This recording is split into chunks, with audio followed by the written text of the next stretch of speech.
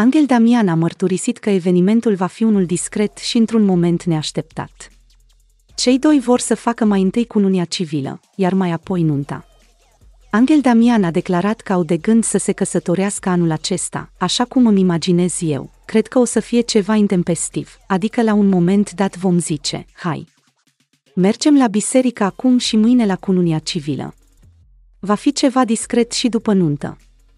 Așa simt eu și așa cred că se va întâmpla. Am apucat să vorbim despre asta.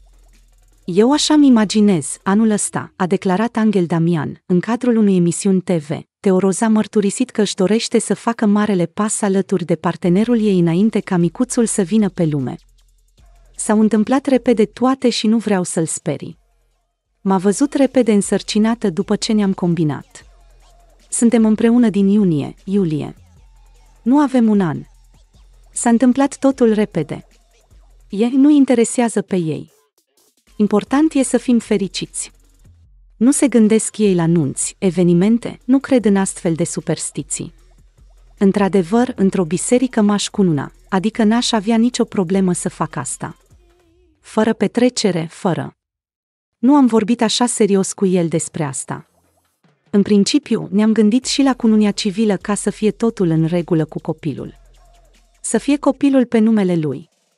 Nu mă grăbesc, a spus Teo.